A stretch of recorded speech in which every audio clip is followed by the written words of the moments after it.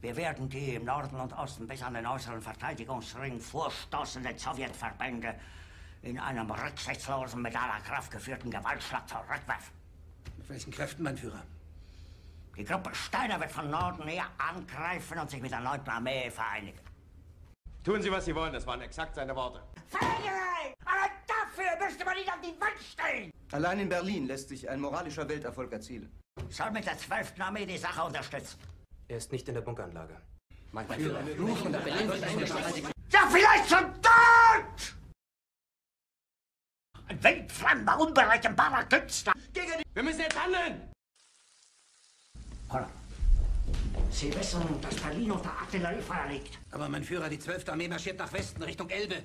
Dann soll die Armee kehrt machen! Kapitulieren niemals! Das ist empörend! Was hat er daraus gemacht? Aber dafür müsste man ihn an die Wand stellen! Aber Sie haben es doch selbst gehört. Er will nicht mehr führen. Die Generalität ist das Geschmolz des deutschen Volkes! Sie ist ohne Ehre! Mein Führer, was Sie da sagen, ist ungeheuerlich. Den Widerstand in den Weg gelegt! Meine Unterschrift unter eine Kapitulationsurkunde zu setzen. Das ist der schlimmste Verrat von allen! Dann entblößen wir die Westfront. Haben Sie noch Zweifel an meinem Befehl? Ich glaube, ich habe mich vanille Faulpelz, um sich zu autorisieren, behauptet er, ich wäre krank. Ich habe Berlin vor Jahren gegen die Roten erobert und werde die Stadt bis zum letzten Atemzug gegen die Roten verteidigen. Feigling! Wenn er sich ohne Befehl entfernt hat, ist das Fahnenflucht, Verrat. Bringen Sie mir Fägelei, Fägelei, Fägelei, Fägelei! In der Bunkeranlage.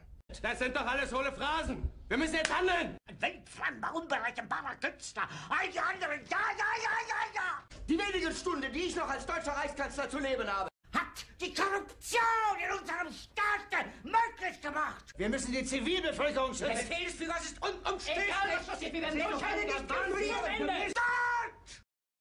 Verrat an meiner Person! An meiner Person! Er ist nicht in der Bunkeranlage. Sie nennen sich Generale, weil Sie Jahre auf Militärakademien zugebracht haben, nur um zu lernen, wie man Messer und Gabel hält. Mein Führer, Sie ist ohne Ehre!